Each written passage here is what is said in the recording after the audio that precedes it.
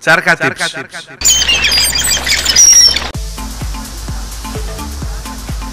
Γνωρίζετε προς τα που πέφτει η ροτόντα ή ο λευκός πύργος.